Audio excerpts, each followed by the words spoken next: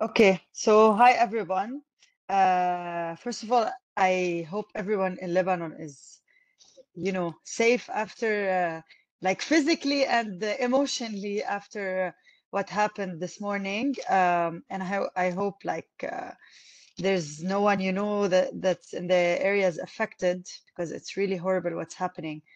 Um, so um, uh, we're here today to uh, discuss uh, the like um, you know the topics related to job applications uh, and we have here our partners from LebNet. Uh, just to note that this is not the first time we've had a you know a collaboration with uh, LebNet. We've had we started back in 2019 uh, with a series of uh, talks with the Silicon Valley Channel, and this year we have been kicking off with the early in career panels. So we've had a panel before on uh, graduate uh, school applications. And today uh, we're going to discuss job applications from CV to interview. So I, you know, uh, this is something we always, uh, as a career center, you know, try to assist the students as much as we can with. Uh, but we think it's important for for all of us to engage, you know, in discussions related to this topic, especially with early in career uh, professionals who, uh, you know, might have other insights uh, after working in the field, and even uh, the memory of them applying to to jobs is still uh, somewhat fresh. So uh, we have here with us um, Elia Farah, Joseph Kadifa, Samer Akiki, and Stephanie Ferzli who have joined us and uh, are here to share their experiences. Um, I'm just going to, you know, give each and every one of you the floor to say just a few words about yourselves, you know, uh, before we uh, start with the panel. And uh, basically, uh, you know, uh, as everybody of the attendees knows here, when we circulated the invitation, we asked the students and the attendees to share their questions or what they'd like to hear about in this panel. And we kind of collected that feedback and divided it into um, uh, themes, uh, basically CV and cover letter, job search, the market, the interview, and a bit about the panelists themselves. So I'm going to start with, uh, I'm going to go with alphabetical order. So I'm going to start with Elia to give us just take a few words about himself. Okay, hi, hi everyone. I hope everyone is okay too. So, uh, my name is Elia Farah, uh, and um, I uh, my background is purely scientific. So, I got my bachelor's and a master's degree back in Lebanon, and I moved to the U.S. in 2015 for my PhD in uh, biochemistry. Um, I spent five years uh, doing that, as well as uh, doing some research in the in in prostate cancer specifically. Then after that. I started applying for jobs. Uh, it's a it, it, was a slightly long process. I applied definitely to uh, more than um, I'm not I'm not gonna uh, say the number, but but a lot of places. Uh, eventually, I was able to get uh, an offer at a consulting firm. Uh, currently, I'm a senior consultant with Bluestar BioAdvisors. companies located in New York. I work remotely with them um, and I've been with them for the for the past two years. So this was my first job out of um, out of PhD, and I'm still with them, and and um, and obviously happy. So uh, so I hope I can help everyone, and I, I can help answer some some of the questions uh, if I can remember from from two years back. But, uh, yeah, thank you, thank you for having me. Thank you. We're gonna go next to Joseph. Hello, uh, my name is Joseph Kadifa. Uh, my father was born in Lebanon and immigrated to the US in the 1980s, where he met my mom. And uh, so I was born in San Francisco and I went to school in San Diego for electrical engineering and got a BS and a master's in electrical engineering at the uh, University of California, San Diego. Uh, during my time at school, I had several internships both in labs and at companies. And I currently work at uh, MaxLinear, which is uh, about 20 minutes north of San Diego. I've been working there for almost three years after I graduated from my master's as a senior communication systems engineer. Thank you. Uh, I think we're gonna go next with Stephanie because I see that maybe Samer has lost uh, connection. Maybe. Okay, go ahead, Stephanie, while we wait for Samer as well. Hi, everyone. Uh, I'm Stephanie Ferzli. Um, I graduated from uh, AUB in civil engineering uh, back in 2019. And then I moved to the US for my master's at The Ohio State University, did my master's in transportation engineering, um, part of civil engineering, and city and regional planning. And then um, moved uh, to Indianapolis, where I currently am based. Um, and uh, I have been working with a firm called HDR for about a year and, and a half um, as a transportation planner and analyst. And uh, hopefully I can share with you some of my experience in my job search and job applications, um, which was about a year and a half ago. So not too long ago. Yeah, so it's still fresh in your uh, in your memory. yeah. Um, so um, I think Samer had some kind of technical issues, maybe. Can anyone confirm? Nadine, Samer, uh, his uh, WebEx crashed, so he's trying to get Oh. on with his phone. Oh, okay. Um, um, okay. So I think uh, we're going to uh, once Samer gets back online, we will get back to him to to give us also, you know, some overview about um, uh, his track. Um, and just to get started, um, I'm gonna uh, dive uh, directly into the topic of CVs and cover letters. Uh, so we had, you know, the first question maybe, and, and this is something that, you know, many students who come um, to my office also asking for feedback on their CV, they come with, uh, with the CV that's created on a website through a template. So the question is, should I rely on a website to create my CV?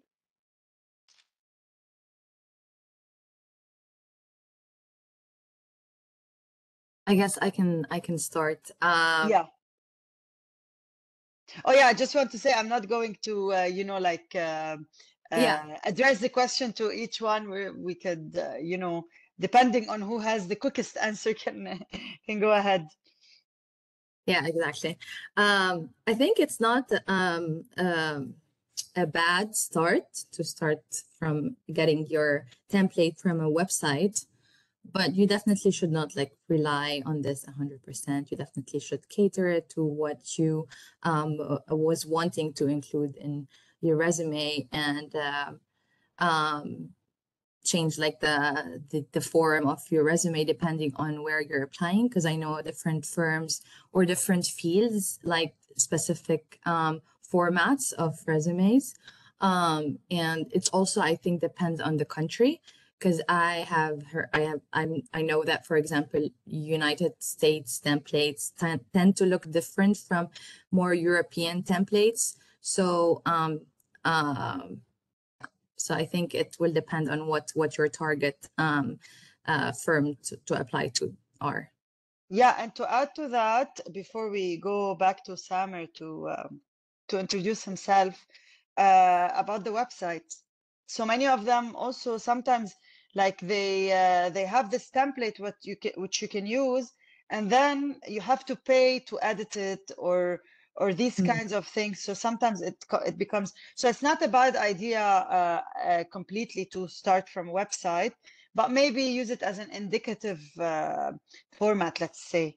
Um, so yes, Samer, we lost you for a bit, and everybody introduced themselves. So we uh, Ah, we're just gonna go back to you before we uh, we proceed with the questions. Uh, sure. Yeah. So I, I work as a software engineer at Marvell Semiconductor. Um, I graduated in 2018 with my MBA and uh, degree in electrical engineering from Clarkson University uh, in upstate New York. Uh, that's yeah. I, I work in automation of the semiconductor industry. So that's kind of what I do on the day to day. Thank you for that. Uh, so I'm just going to go back to the questions. So we're right now tackling uh, all the questions we, we received regarding the CV and the cover letter. So, um, um, you know, students always ask, what do I highlight in my CV? And, uh, and especially if in case they still didn't have, you know, if they're fresh, if they still didn't accumulate enough uh, experience. I can start on this one. Um, of course, if you had, you know, experience doing side projects on your own or uh, um, jobs that may be applicable, those are the top things to mention on your resume. But you know, if you're coming out of undergrad or in your first couple of years of undergrad, I would mention some projects that you did in your classes that you can elaborate on. Something that you feel confident about talking in detail about, and that you know someone could ask you questions and and you could defend what you did and you understand why you were doing it. Um, I was talking to one person one time for an internship opportunity, and uh, and and they didn't really know why they were you know building this type of circuit. Um, but once I asked them a couple more questions, they were able to kind of explain, oh, I was tuning this resistor to change the volume on this you know, the, the sound, and so kind of being solid and understanding why you were doing something, being able to explain that to a recruiter will would impress them. Okay, uh, thank you for uh, for that. And and do you think like um, there are specific terms to be used in the CV? And would this be, you know, helpful for for the screening and these kinds of, you know, software? I, I can uh, mention this one. I mean, uh, there, there are definitely, uh, at least in the US, there are definitely um, screeners, uh, like screening programs that, that go through CVs in, at, at some places. I'm not going to say like everywhere because some of them are just handled by like by a person.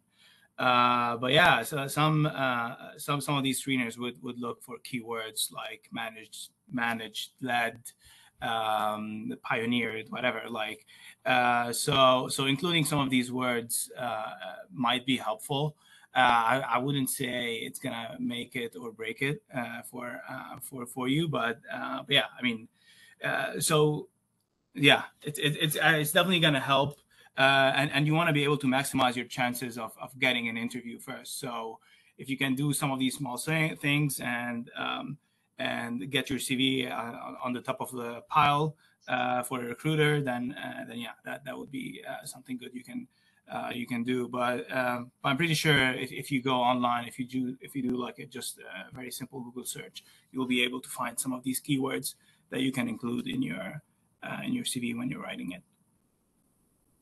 Yeah, uh, and I would add to that, like, uh, I would say that even if uh, the company does not have like a screening or an applicant tracking uh, system, uh, the person screening the CV would be, you know, let, kind of behaving like a tracking system, you know, just looking for keywords and uh, and that's why I think the the format is very important. That if a person doesn't have a lot of time and they're just screening through the CVs, they can just extract the info directly through um, a format that's comfortable for them. Um, what else? So, do you th- does anybody uh, think there are mistakes to be avoided in a CV?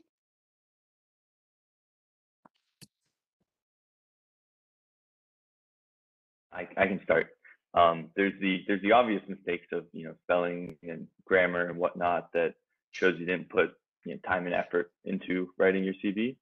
Um, but once again, I would focus on you know you you, you can have uh, like a list of extracurricular activities at the bottom of your CV, but I would focus on you know your experiences or any class projects or or internships that you did, and have the majority of your CV be that type of information. And then you know you know uh, you can make comments about previous jobs you've had, but really focusing in on what's going to be applicable for the job that you're applying to. And that's where you can also tailor your resume a little bit to the type of job. If it's more on the software side, maybe you want to mention some of your coding experience or your coding projects versus if it's you know more logistics or or different different type of uh, opportunity.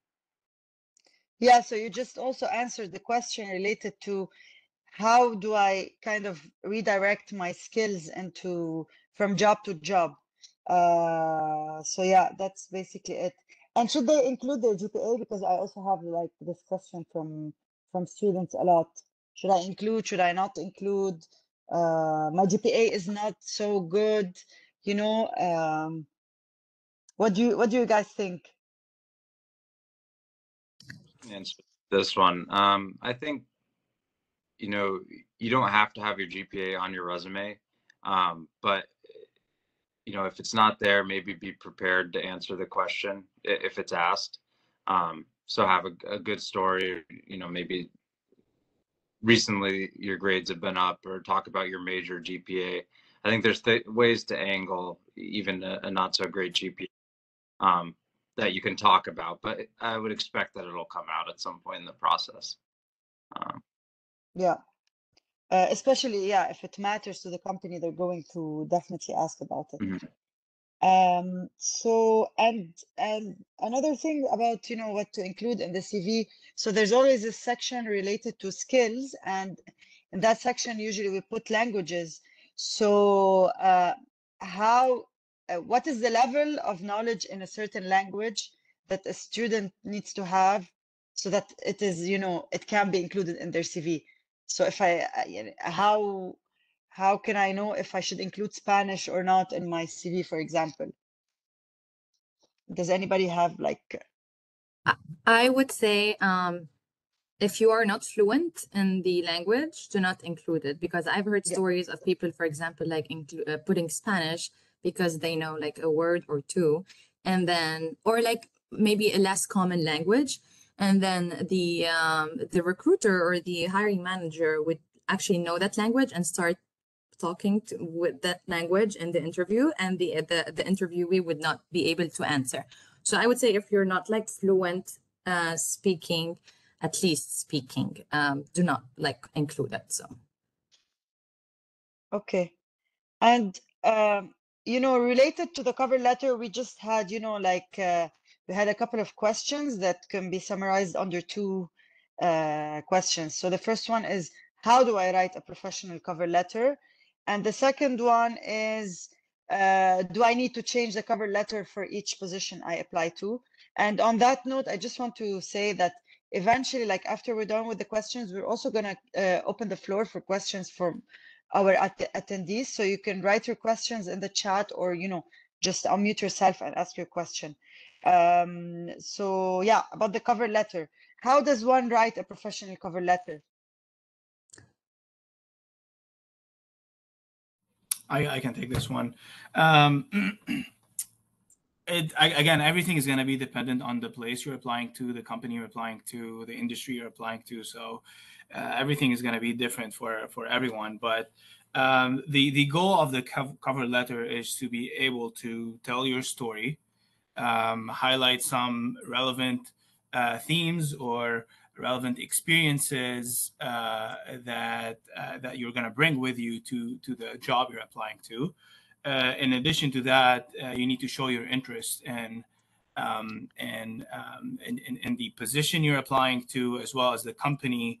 Uh, somehow, al- also throughout your the cover letter. So, um, a, a really good way to start with uh, building or writing a cover letter is just ask people around you um, either who work at the company you're applying to or in the same industry to share with you uh, some of uh, some examples and that that would be like a, a great way to start from a structure standpoint from the content standpoint so you can be able to build upon what they have and and cater it to your own experiences and um, and goals uh, at the end of the day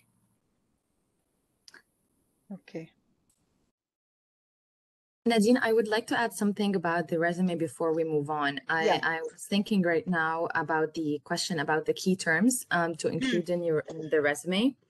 And I think uh, other than the key terms, which are like the the catch verbs at the beginning of the bullet points for a description. I think a lot of applicant tracking software are um, look for key terms that are in the specific positions you're applying to. So that's why I think like a resume should really be tailored to to, to the position you're applying to. Let's say um, there's there are specific skills or a specific like uh, goal uh, that this uh, position uh, requires make sure to have that emphasized in a not very obvious way in your bullet points like do not copy paste it but basically uh, use some keywords here and there because I think that a lot of applicant tracking software these days are like looking for these keywords that are in the raw in, in the job description and roles and responsibilities mm -hmm. in the applicant um, resume. So yeah, just wanted to add this here.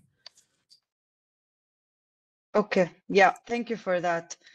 Um, so moving on, so I've prepared my CV, I prepared my cover letter. My next phase would be, you know, looking for jobs. So how do how do i start? I mean if i'm a especially if i'm just graduating how how would i start applying for jobs?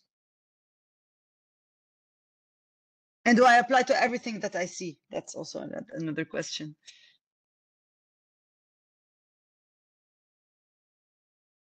i could i can start i i think as much as you can trying to find actual people to talk to uh, at a company and trying to translate that, letting them know you're interested in positions and asking if things are open and sort of introducing yourself that way.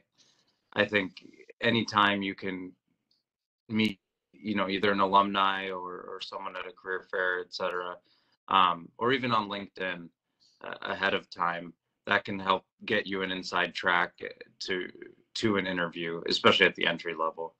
Um, so I think as much as you can try to find those avenues instead of just cold applying online. Um, I had much more success doing that. I, I, don't know how many, I'm not sure I got really any interviews off of just cold applying. It was all leveraging my network or or my school's network. Yeah, and I think this is like a great um, um, great idea, um, Samer, because I have heard that um, and uh, it's not that I've heard, it's a fact. A lot of open positions are not actually posted online. So it's by connections that people um, um, find out there are open positions in a specific teams they're interested to. So like Samer said, just like talk to as much as people as you can in the, the companies or fields you're interested in. And uh, I think this is how to start. Yeah, so that's uh, that's actually uh, you know answers i think directly the question related to is there a secret recipe for uh, for job applications and i think i would say that's the secret recipe unless you you have uh, something else to add uh, i would also like encourage uh, students who are you know freshly started to you know not to be shy in the sense i mean not to be uh, you know too uh, insistent if if the other person is not really reactive, but also uh, use the connections you have and be confident in approaching the connections because uh, this is what you should do. You do have, if you're you're sure, especially that you have the skills for the jobs. There's there's nothing to uh, to, to make you shy. You can just ask. You you have nothing to lose. So, how important is the LinkedIn account? Because now you know uh, uh, my, my, straight answer would be yes, but I will leave it. I will leave it to you.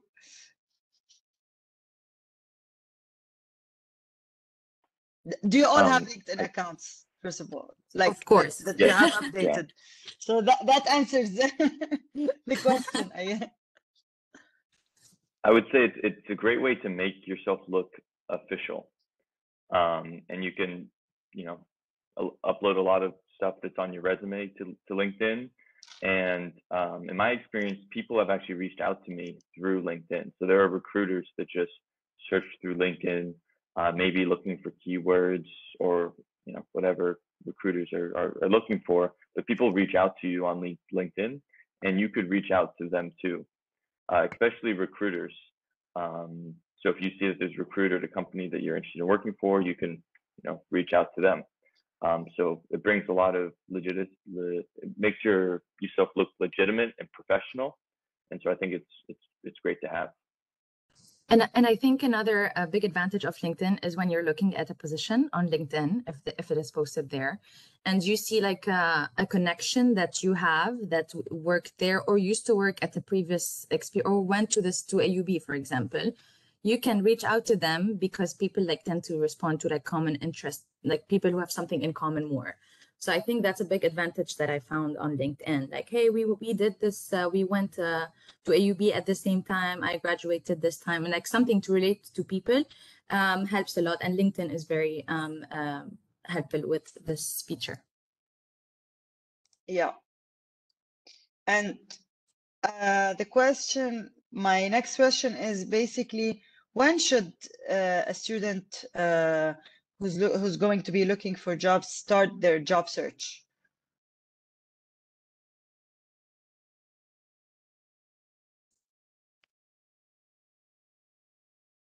It it depends on uh, what you're looking for, but I would say at least uh, start start earlier than you think you'd have to.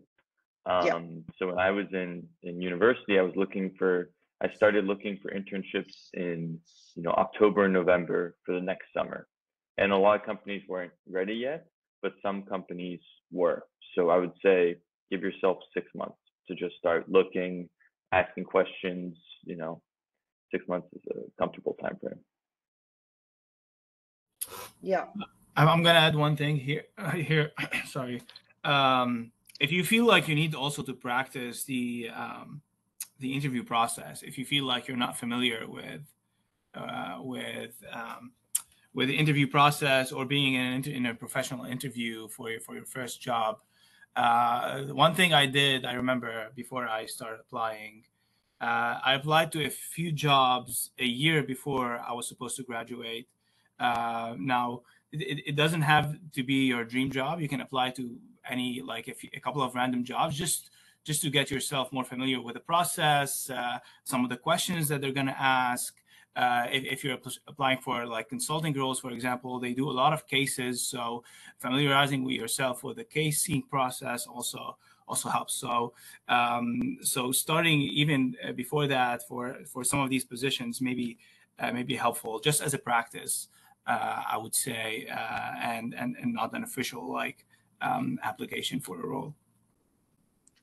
And, and I would like to add something here as well. Um, from my personal experience, I think, um, yeah, around like six months to a year is great because I think you need a few months in the beginning, one to two months, to really get in the game. Like it's a gradual process. So, for example, I was graduating May 2021 from the Ohio State University, I started like browsing the companies I wanted to apply to from November, attending career fairs, even though the career fairs were for people who wanted to start in January. But I wanted like to get actually in in the field, know who are the top companies, who I want to apply to, what is the difference between different types of companies.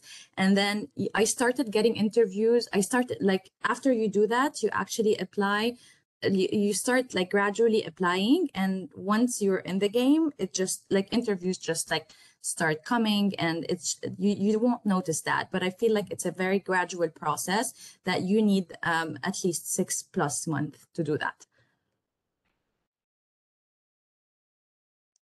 Okay yeah that makes sense. So um from your perspectives uh, as early in career professionals, uh, what insights do you have about today's market? What can you tell us, you know, about today's market? From what you've seen. I'm, I'm, sure everyone uh, seeing what's happening now, but today's market is, is not the best.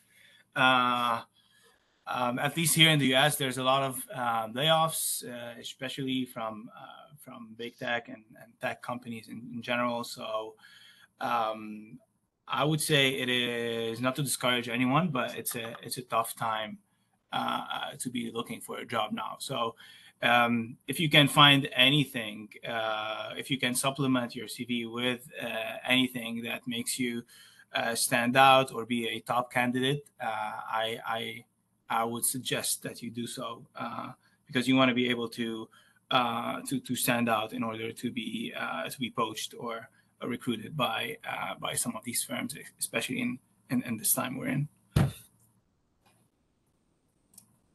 There are rumors that um, the market will get better this summer, so this is on a positive note.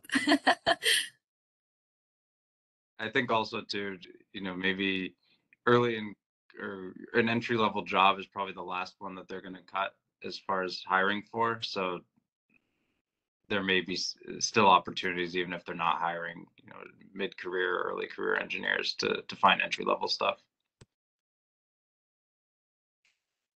Yes, and I can speak from from my experience. Like my company currently has a hiring freeze on right now, but if they see a candidate, um, they're still them. They just don't want to hire a lot of people because I know somebody that's about to be hired by my company, and technically we have a hiring freeze. So just because someone says they have a hiring freeze doesn't mean you should not reach out to them because if you impress them enough, they they'll realize you know this person can help us in the future. So it's worth it to to invest the resources resources now. Also, I would like to add that I this like the market is not very bad for all types of companies because my type of company is thriving, for example. Like we're hiring nonstop more than ever. So um, it really depends on the field, but hopefully every all the fields will get better soon. Mm-hmm. Uh, so sorry, by the way, I disappeared for uh, for two minutes. The electricity went, of course. so, um, uh, for industrial engineering students, uh, they they ask about what's out there for them, and this is something you know that I that uh, that I uh, face a lot of times. You know, students from industrial engineering, they come to me and they say, I don't know. Um, is there anything else other than consulting, like strategy consulting? Because that's kind of for all uh, students with engineering background. But um, I'm wondering if you guys have, uh, you know, like insights about industrial engineering as a field and what is out there for the, for the students in uh, studying that field.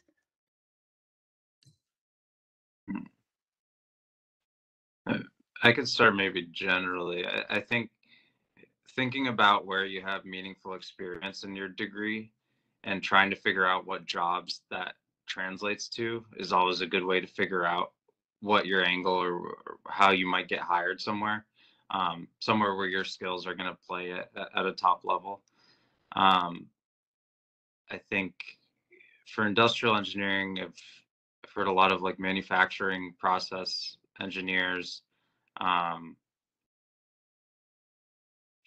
think. But you know, it is sort of a hybrid degree, so I think you have to be careful and know what what specifically you have skills in and try to look for jobs that are looking for those skills. Okay.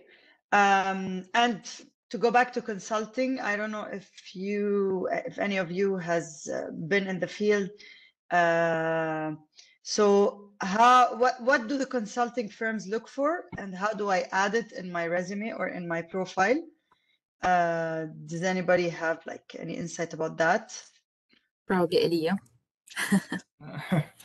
um, okay, what do companies look for? Um, I can tell you about my experience specifically. So I'm a life science consultant. So I specifically work in in the life science biotech uh, realm. So our clients are pharma and biotech companies. Uh, but what we look for in in candidates are uh, um, some sort of scientific experience. So your your background has to be relevant to the industry you're applying to. So if you're applying to life science consulting, you're going to have to be in. Uh, you're going to have some sort of experience in life science in general. But in addition to that, we look to um, uh, we look for um, some sort of business experience or uh, people showing uh, willingness to learn more about the business world. At the end of the day, you're trying to answer questions that are going to benefit or improve your client's business. So you want to be able to show in your CV, in your resume, uh, some sort of willingness to learn uh, in that field as well. So I, I would say supplementing uh, your your uh, your background with some key courses or even experiences uh, like that would be uh, very helpful. Um, we are also consulting firms are also looking for uh, critical thinkers, uh, people who can think on the fly. So you're going to be you're going to have to practice case interviews, and you're going to have to pass a case interview at some point. So uh, practicing that uh, and um, with, with, preferably with another person is also very helpful ahead of you applying for some of these jobs i would say. Okay thank you. Uh, so um, another question that I, that we've had like how do companies pick their candidates? I don't know if if if we can have like a, um, a definitive answer for this. Uh, but maybe one of you can try. so I, I, can talk a little bit about that since um, I've interviewed some people already, but um, okay, this might be also specific uh, for for for the industry, but uh, I, I, would say candidates have to check several boxes. Uh, first, uh, first couple of boxes uh, they're gonna have to check is that they're they're they're basically not lying on their CVs. So you're gonna you're gonna have the first uh, interview or introductory interview with the HR person at the company or uh, some of the managers, just to make sure that what you're what you've said on your CV uh, is uh, is actually true. So you can speak about these things. You can speak about your experiences, tell your story, etc. Uh, after that, uh, we are looking for people who are uh, who can be in a team. So uh, we're, we're, we're going to ask some specific questions about you working in a team. Uh, for example, uh, how do you handle conflict, etc. How can you better how you can better your team. so so we're looking since since we work in, in team in teams usually at my firm. So we we are definitely looking to check that box as well. Uh, and finally, we are looking for people who who um, have the knowledge, so have the scientific background, can speak about that, um, have the critical thinking. Again, going back to the case, so these people have to also pass uh, the uh, case interviews. We uh, in the past we were not inviting people to the office, uh, just having these uh, small chats, making sure people are not weird. so so it was hard to it was harder to do those over over Zoom, but now we are inviting people to the office just to have conversations with the whole team, make sure everyone feels comfortable around that person before bringing them in uh, to the firm. So checking these boxes, um, I guess, will uh, will will will do it for for a firm like ours. Uh, but I'm not sure whether in other industries uh, they're looking for something else. Yeah, I think uh, I think what you mentioned actually uh, can be, you know, replicated into into other industries, definitely. Uh, and um, there's this question uh, about, you know, getting a job in the U.S. or Canada without if if someone is is applying out of Lebanon. Uh, does anybody have, you know, any insight about that? I can start. Um, because at the time I was graduating, a lot of people were trying to um, move to the US or Canada. Um, uh, I, in my personal opinion, getting a degree from the US or Canada is highly advantageous. However, I don't think it's impossible to get um, directly when you're graduating from a, a, a job in the US or Canada, but it's very uncommon or less common than uh, having uh, like actually having degree and um, it would all also depend i think more on the connections uh, because um, companies here tend to if they don't see any anything that relates you to this part of the world probably will not really um, you will not be at the top of their list. So so that's for sure. Um, so this is what I have to say. I don't. I'm not sure if anyone else has to anything to add. Um, I'm I'm just going to add something uh, also uh, that uh, first of all, there's uh, uh, you know sometimes the companies uh, cannot employ people from um, from outside the country except if it's on a special program.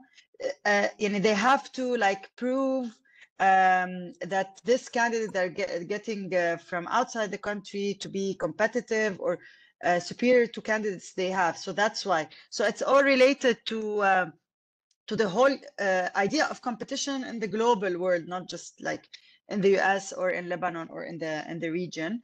And uh, another thing I want to point out, like because we've had a global pandemic now, uh, the possibility of remote work is more possible. Um, so there are opportunities I mean, right now, because you know everything and all the world is in a transition, that might not seem uh, quite obvious. But I think, like in the future, we'll see a lot of uh, remote jobs, um, and you know, you you can be working out of Lebanon and being affiliated with the with a company anywhere in the world. Uh, that's not to mention many companies.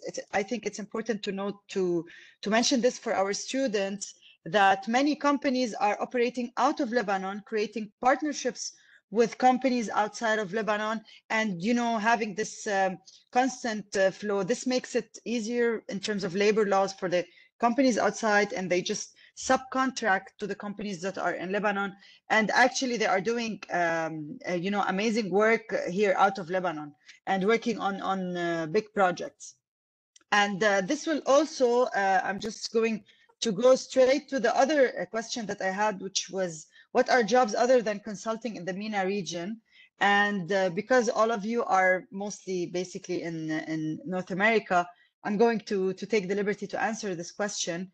Um, so first of all, what, what I just mentioned related uh, all these companies working uh, out of Lebanon and out of the region uh, remotely uh, this is one, uh, you know, one field that didn't exist before. Not to mention the other fields that are already there, you know, the construction industry, the energy industry, even tech and sales in tech are all in the region. All of these companies actually are present. So there are opportunities. Uh, it might seem a bit that uh, only consulting is taking the lead, you know, management consulting, but that's not necessarily true. But these, I mean, the consulting companies, from my experience because they come and they they come on campus a lot so they they they become uh, more known than other um, industries um, so we apply we got the cv we did our cover letter we explored the market we did the job search and we got an interview so how can we how can we prepare for an interview and how and what does the interviewer expect from from from a student or from an interviewee in the interview?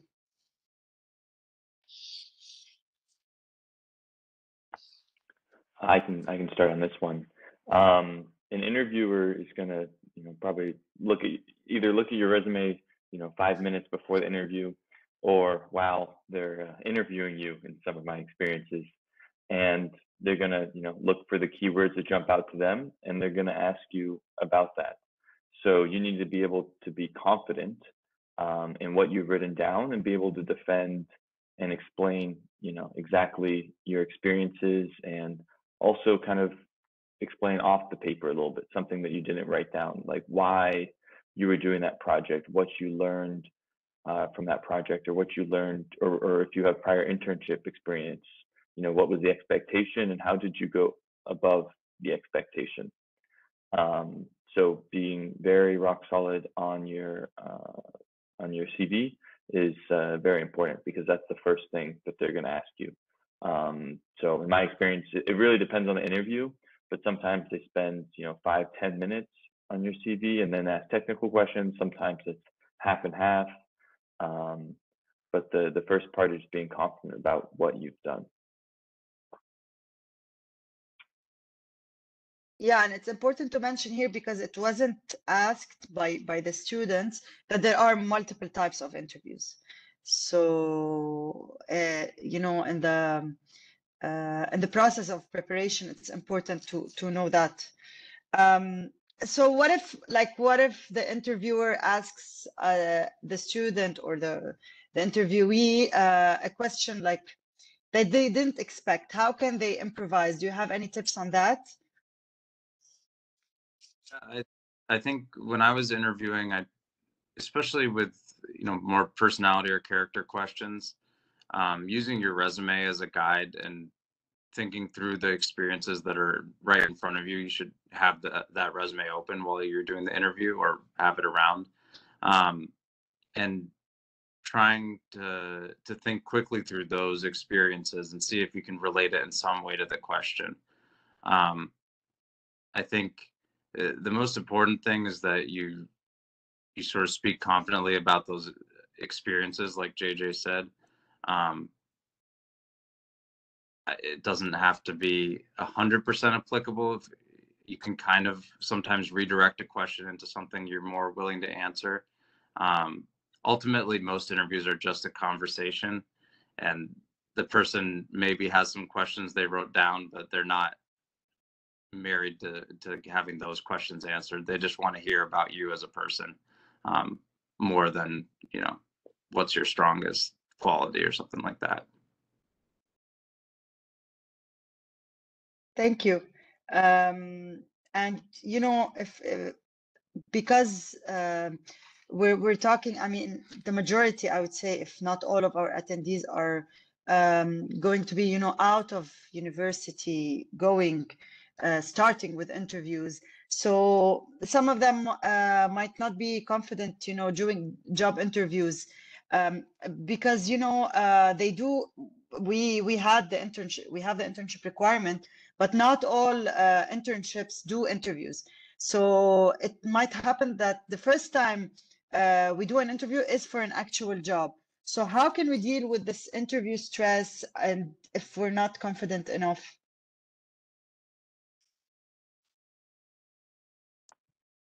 Uh, I, I can start on this one. Um, if, so this is going to kind of sound repetitive, but um, if you're if you're not well, one you can practice interviewing. You can practice interviewing, you know, with your parents, you with your uh, you know your friends, with professors. Um, so practice always helps alleviate you know not having confidence. But um, in my experience, sometimes interviewers want to know what level you know something and to do that, they have to ask you something that you don't know the answer to and that you won't be able to figure out. But they want to see how does this person react when I ask them something that they won't, I know they won't be able to answer completely, which, you know, can be kind of mean, but they also want to test the extent of your knowledge.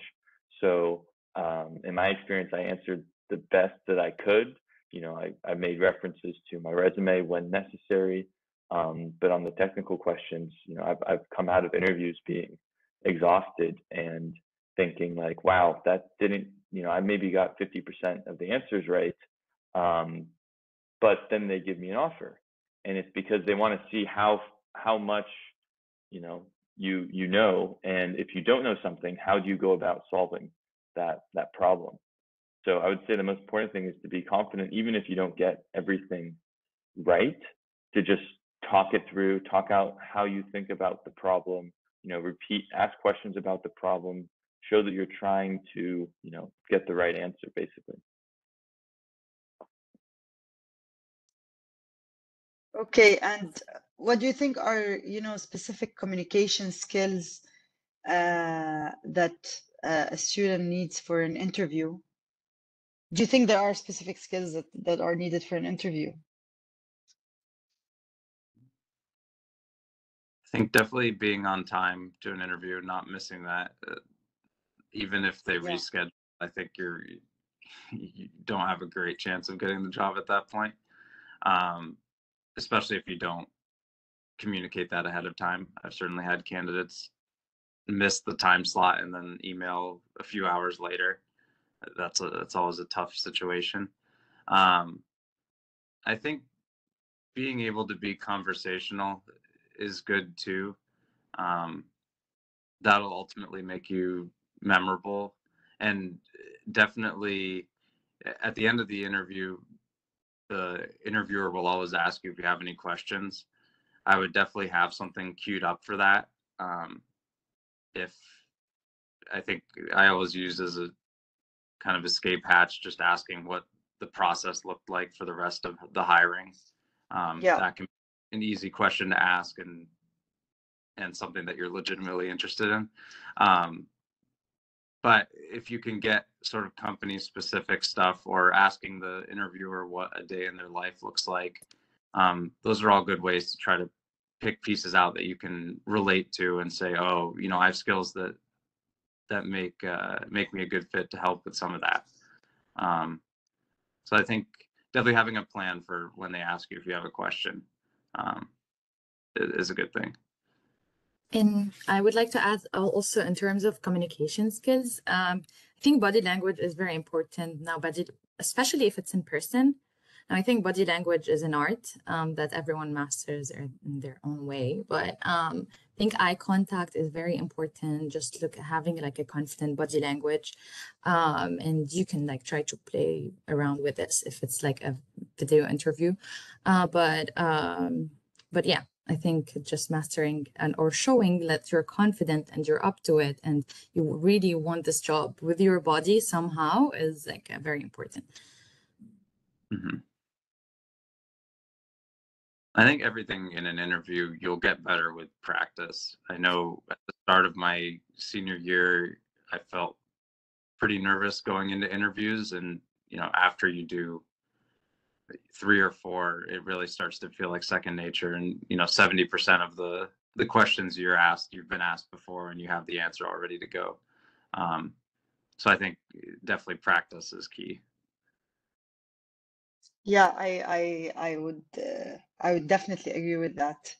Um, uh, so th how do they answer the salary question? Maybe I can answer this one before I Yeah, go ahead. before I hop off. Uh, never answer the salary question. Uh, I, I, or I, I would say just don't give specific numbers. Um, uh, yeah, you, you you you don't give a specific number. Always try to give a range. Do your research ahead of time. Uh, make sure you know what you're getting into before. Uh, again, talk to people, network, um, ask. Uh, don't be afraid to ask about uh, about salary expectations to your friends, your network, etc uh, and yeah, prepare yourself uh, to answer that question. A lot of people are are more often asking it right now. So yeah, I would say don't give a specific number, just give a range um, every time. I personally Okay. don't even like to give a range. Um, I don't know. I feel like, and I've heard that usually. Thank you, companies Elia, give by the way. Yeah, thank you. You can you can hop off. Yes, go ahead, Stephanie. Yeah, Sorry, I was just gonna say that I personally don't like to. So that might be a very Lebanese thing because, um, you know, salary question is always like, oh, salary, money. Uh, but um, I I don't like to like even give a range personally uh, until like I actually get the offer and get and then I can take it from there, negotiate or say this is not what I expected. But I think this is a very personal preference. But I've heard a lot of people give ranges and just get the lower number in their range. So I don't see any difference with doing that or giving like a specific number. So I don't know. I, I it's it's personal preference, and maybe JJ or Samer have something to add about it. Yeah, I think I also would try to not answer the question if possible. Sometimes it's easier, sometimes it's not. If, Yeah. if you have to give a range, giving one that's like pretty wide that it's not really answering the question is also good. Um, I think you you as you're going through the interview process, I think you get a sense for how much the company wants you. You know, how fast do they reply after the interview? Um, how quick are they to get the offer out the door? Uh, how good a fit you feel like you are to the job and how it felt in the interview. All those are relevant things to think about to see if you have leverage to ask for more money when they offer you. Um, for me, the job I ended up taking, they offered me the position I mean, almost informally as I was leaving, and the formal offer, you know, a couple days later. So I just asked for more money. I I didn't see how they could be that excited and not be willing to give a little bit more. Um, but also recognize, you know, your entry level, you're going to grow a lot in that position, and I, I don't know that you have any more significant career uh, like salary growth in, in those first few years as you grow into it. Um, I, I know a lot of my friends in engineering are up, you know, 30, 40% from where they started just three, four years later. Um, so I think that's worth bearing in mind too. Definitely look for the position you want and, and then, um, you know, make sure it's that money that you can afford to live on, but but think about a position that you're ready to grow the next three five years because that's where you'll really get a lot more money out of it so very quickly I'd like to add to specifically uh, uh, answer the question i think how do i answer the salary question what i personally say is I'd never answer it in the job application. I always put like market value.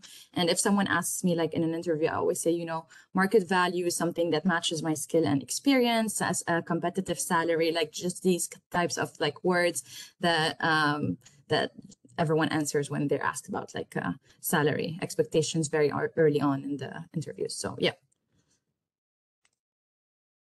Yes, thank you. Um, and uh, to wrap up on the interview questions, so after the interview, uh, one question one question was, should I write an email to the interviewer to thank them for the opportunity or not? And I think the answer is going to be yes. Yeah, because this is this is I think this is a common mistake that uh, we've all done. I mean, I, I've done this. Uh, I've went to interviews and then didn't uh, write a thank you uh, email, and it, it might be that maybe in like uh, in the in Lebanon, it's not um, you know that that much of a trend. Let's say to to use this tactic, but it's definitely something that should be done.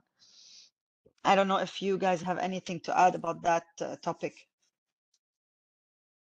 yeah i think just like it should be no more than three four sentences just thanking them for the opportunity and maybe reiterating why you think you're a good fit bringing in stuff you talked about in the interview um, but keep it short and most important thing is just that you do it Yeah, yeah.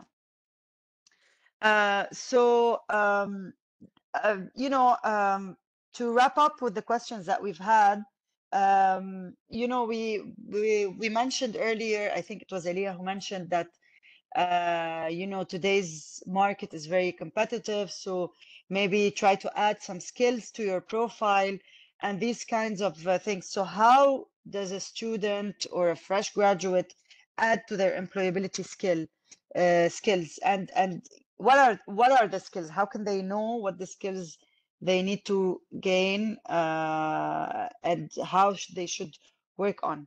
You know, like like what, how, and and what, you know, basically. Mm. How can they stand out?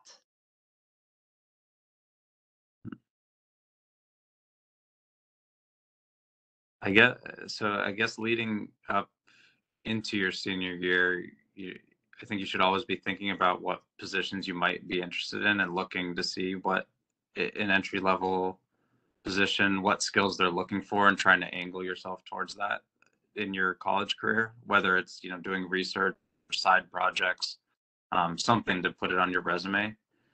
Um, once you're in your senior year you know you, it's kind of a, a little late to add a lot to your resume um, but that's when you can start you know maybe thinking about grad school or or picking up an internship delaying graduation a little longer um, that's certainly an approach you can take. But I, I think you know thinking through your whole college career into classes and, and projects that you've done um, sometimes you can surprise yourself as far as what skills you have picked up and you can talk to And uh, if you could tell us, you know, a bit about yourselves in the sense of uh, what problems did you face while you were applying for jobs? How how was your experience, you know, uh, in all of this process from CV to cover let uh, to cover letter to interview to landing a job if you have like any special insights you'd like to share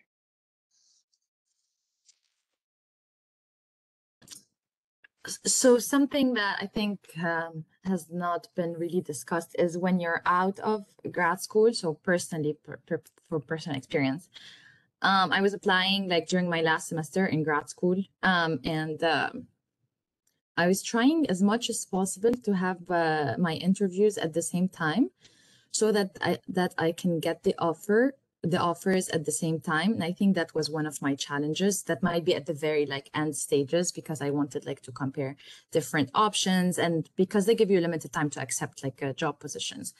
Uh, but i think that was one of the challenges that i i wanted to make it to make work.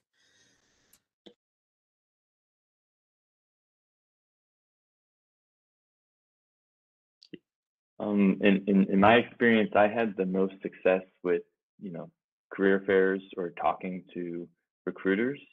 Um, when I applied online to most jobs, you know, the response, you know, the response rate might be like 10%, maybe maybe lower. Um, and you get a better idea of what the company does when you talk to somebody face to face versus just reading their mission statement or reading, you know, the the job application or the job description, but being able to talk to uh, in my case, you know, the engineer, like what they do on a daily basis, and seeing if that matches for me too. Because the most important part of you know the interviewing process is that it's a match for something that you want as well, mm-hmm. and something where you know, as people have mentioned, where where you can grow and a, you know, a career path where you can, you know, you're not committing your entire life to this your first job or your, your first career path that's something that you can see yourself doing for two, three years and, and, and being happy with it. Yeah, I think in my experience, I I definitely had the same thing where applying online was sort of a dead end, um, and I changed my strategy in uh, like April of my senior year or, or of my MBA year, um, and tried to make personal connections more. Um, tried to find events where I could get like good ratios to the people from companies. Um, I think sometimes info sessions, if there's you know a bunch of other people there, it can be challenging to stand out. Um, but if you can find sort of like dinners with alumni, things that not a lot of people attend, if you can kind of get to know someone through that process and mention that you're looking for jobs at the end, um, I I had a lot of success doing that with just random alumni dinners that were happening, and me and a bunch of like juniors and sophomores would be going to these things, and I was the only one looking for a job. So you have a much better chance and kind of have a side way of getting into a company instead of um, the same way everyone's going. Uh, and I'd echo what Stephanie said. I, I think if you can help it, try to schedule things in the same range. So if you get multiple offers, you can actually consider them and not kind of have to take risks. Um, but it's definitely, I emailed and asked for extensions on offers. Um, I asked companies to expedite offers to to make sure I could consider them. Those are all things that are in play. Um, if if you're in that situation where you you have a few or you're waiting on some to come in. I think also, like like Sam had mentioned, um, yeah, the, one of the most challenging um, for me personally was actually building your network and getting out of your comfort zone to reach out to these people. Uh, and I, I would say that it's also like a very gradual thing. Like let's say even like you said, dinners or career fairs or on LinkedIn. So at the beginning for me, um, it was like um, uh, uncomfortable reaching out to people I don't know and like uh, uh, requesting to schedule like coffee chats or uh, phone conversations. So that's kind of getting out of your comfort zone. Uh, but then I think you get the hang of it. At the end, I was like, okay, I'm just gonna send the the message. If he replies uh, or she replies, okay. If not, um, then it's fine. not the end of the world. At the beginning, it was pretty uncomfortable. So. Yeah, yeah. thank you for that.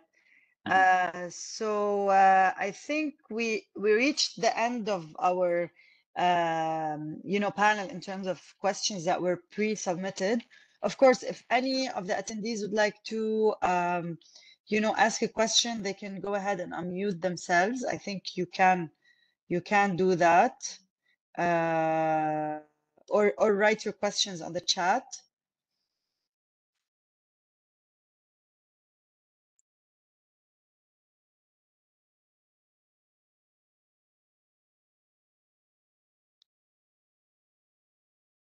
I'm not seeing any questions.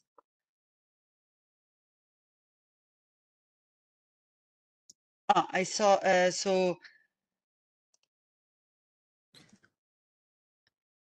So we have a question, should the CV be limited to one page only? I think this is something, yeah, we forgot to mention and we've discussed uh, internally, um, which I think uh, at as fresh graduates, I think it should be a resume, like a one page only.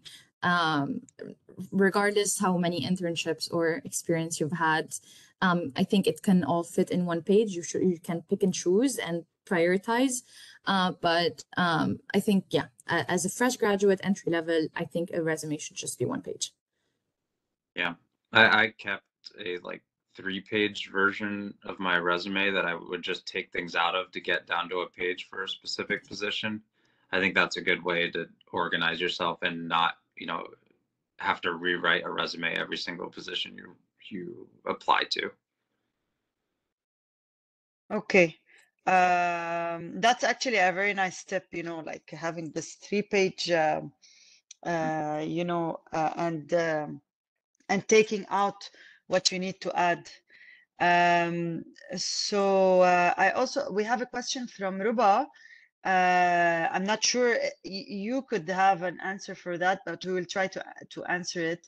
Uh, but if you have in your experience encountered such a case, so Ruba is a, is saying she's a Palestinian refugee and she's struggling to land a, a job in uh, civil engineering, uh, and she she has also a master's degree.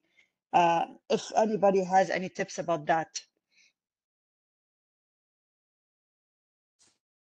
I'm not sure personally what uh, what the paperwork or what the background for landing a job um, um, should be. Uh, so I, I Yeah. I can't say I can.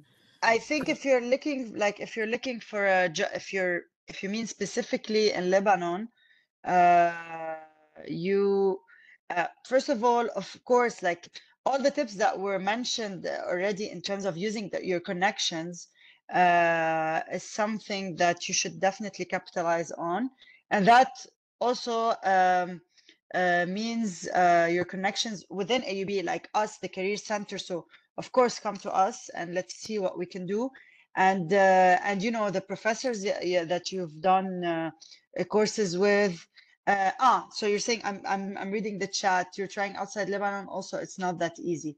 So um, uh, okay. Ah so i saw i saw another question but i'm just going to uh, answer ruba first. Uh, so outside lebanon uh, but it should be, I mean, for outside Lebanon, it should be uh, more or less uh, subject to the rules of the country and not for the fact that you are in uh, like a, a refugee in Lebanon. So, but definitely pass by our office and we can discuss this further. Uh, Omar is, ans- is asking which websites do you resort to to find internships and jobs? Uh, and job opportunities, what do you recommend other than searching on sites and platforms?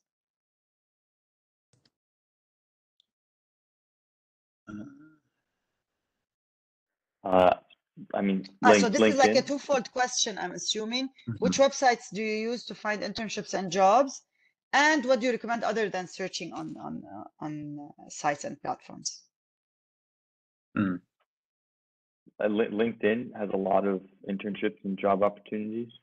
Um, and obviously, if there's you know a specific company that you want to work for, going directly to their uh, website and and looking at their you know hiring page. Um, and in, in terms of uh, other than sites and platforms, I would say see if your professors have any connections, especially a professor that you did well in his class. Um, because because that that can definitely help. Um, that's one thing I use actually is I did. Hmm. Uh, you know, I didn't even.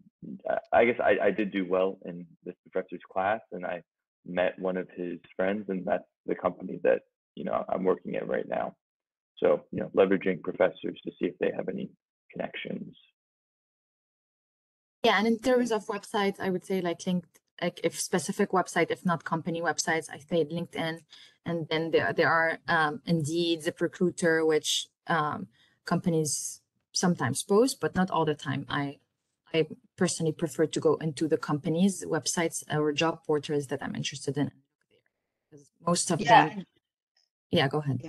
No, I was just going to say that LinkedIn has all of the postings, and if they need you to apply to a specific website, they Mm. would direct you there. So I would say I, I think everybody's u- like all the companies are using LinkedIn nowadays Yeah, exactly. to recruit. Um, uh, we have a question from Henad. Uh, as a fresh graduate who hasn't had a lot of experience yet, what's something in terms of skills that might catch a recruiter's eye amongst all, other applicants? I think, like, if I if I may uh, start with answering this, uh, I would say skill. It will depend on the job. Like, the skill that is relevant to the job will catch the recruiter's eye among all other applicants, basically. Yeah, I think maybe I'd add if sometimes at bigger companies they may just be higher they may just be looking for good students um, versus at a smaller company you may be hired to do a very specific job. Um, Mhm. so bearing that in mind, it could be you know advantageous depending on what your skills are uh, to think about those two options. And uh, should they include relevant courses on their CV? Yes, I, I, I definitely, it, it, it depends on the job, but yes, um, especially for jobs that are more technical, having, you know, a, you, you know, relevant coursework and a one line description of that course. Because I've also had interviewers look at my coursework and then ask me questions about that coursework. So that's also another way to impress an interviewer if you're really confident in some courses that are also relevant to the job that you're applying to. Um, add add those those courses. Um, I actually in my in my graduate studies I was a, a teaching assistant, so I had to teach some of these uh, undergraduate level courses, and so that actually uh, helped me putting those on uh, the resume because I knew I could explain those very well because I had to explain it to 50 students. Um, so yeah, definitely a good idea. Project work as well i would say in the courses you you had because i know most uh, junior senior courses have also like very technical projects and like just tailored to the job you're applying to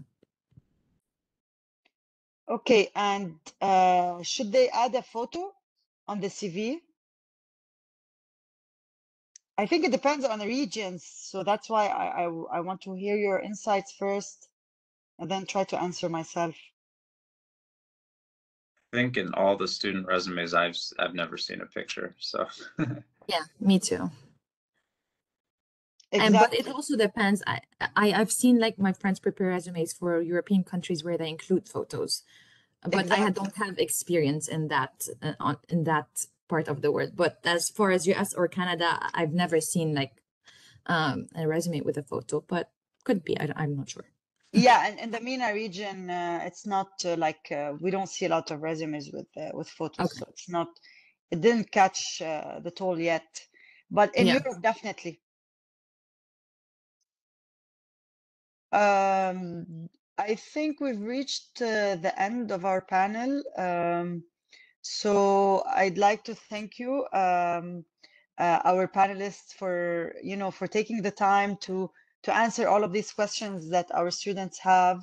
Um, you know, it's great uh, for them to uh, to hear from you since uh, you are already working. You have um, uh, and and at the same time, it's it hasn't been long since you graduated, so you still uh, remember um, you know the process. Um, and uh, of course, we'd like to have you later on in, in other panels tackling different topics. So thank you so much. Um, and have a nice day and have a nice uh, evening for our uh, for our attendees here in Lebanon. Thank you. thank you And good luck, everyone. Thank bye you. bye. you. Good Bye. luck. Bye. Bye.